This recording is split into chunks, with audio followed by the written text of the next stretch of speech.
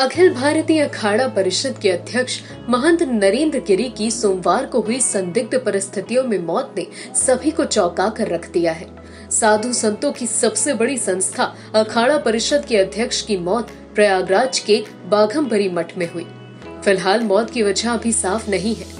जहाँ एक तरफ़ इस खबर के बाद साधु संतों में शोक की लहर है तो वहीं दूसरी तरफ़ महंत नरेंद्र गिरी की मौत को लेकर सवाल भी उठ रहे हैं। आपको बता दें, नरेंद्र गिरी के शव के पास से लगभग पाँच पन्नों का एक सुसाइड नोट मिला है।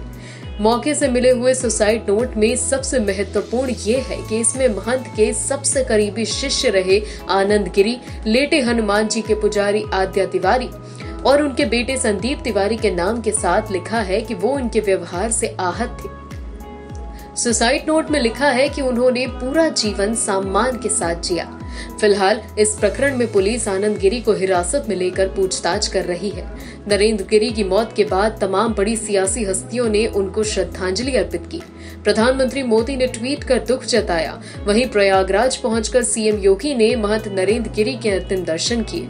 इस दौरान उन्होंने कहा कि इस घटना का पर्दाफाश होगा। जो भी दोषी होगी, उसे कानून के तहत सजा दी जाएगी। एक वरिष्ठ धर्माचार्य और अखाड़ा परिषद के अध्यक्ष से जुड़ा हुआ मामला है। उन्हें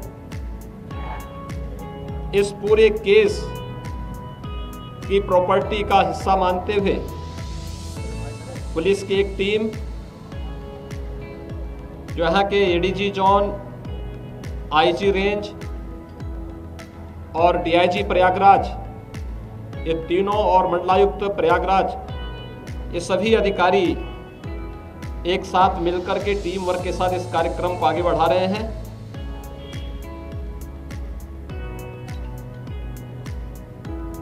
तो वहीं deputy CM Keshav Prasad Maurya, doctor Dinesh Sharma, पूर्व CM Akhilesh Yadav, BSP supremo Mayawati समेत तमाम लोगों ने इस घटना को अत्यंत दुखद बताया और इस पूरे प्रकरण की सही जाँच कराकर न्याय दिलाने की बात कही।